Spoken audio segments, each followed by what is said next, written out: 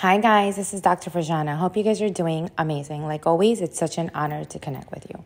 Today, I want to share a simple strategy on how to realign your attitude. How to realign your attitude.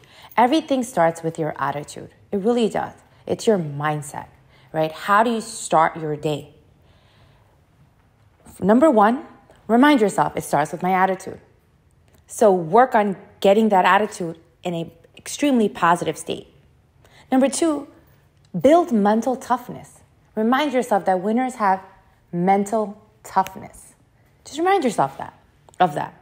Next, remind yourself losers have oh no thinking. Anything happens, oh no. Anything's happening going on in the world, oh no. It becomes, it, it takes over them.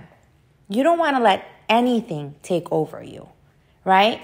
Because remember, where you place your attention, if you place your attention to that, if you give all your energy to that circumstance and to that, to or that to that person, right? You're you're taking you're taking energy for, away from your creativity, right? You're actually physically getting your going to get yourself ill if you don't take care of that, right? Because where you place your energy, that's what grows. So if you're placing it on negativity, that's what's going to grow. So remind yourself again have a positive attitude, build mental toughness because winners have mental toughness, losers have that oh no thinking. Also, say to yourself, I'm going to t- take off those shackles now. I'm going to take off those shackles of oh, oh no, victim. He did this, she said that. That person doesn't know me. How could they think that I'm like this, you're going to have to make a declare, declaration of independence and take the shackles off of everybody's stuff. That's how you change your attitude, right? That's what you build that mental toughness.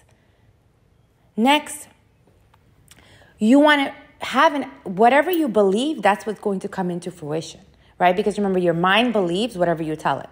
So tell your whatever you want to increase in your life, say that.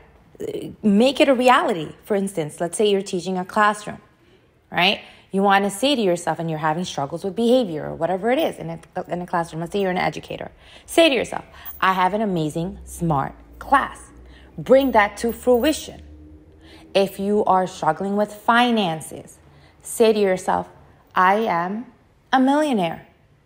Bring it to fruition if you're having struggles in your family life, I have an amazing, caring family.